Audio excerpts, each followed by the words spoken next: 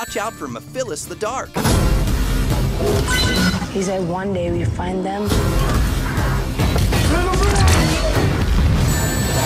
Or they'd find us.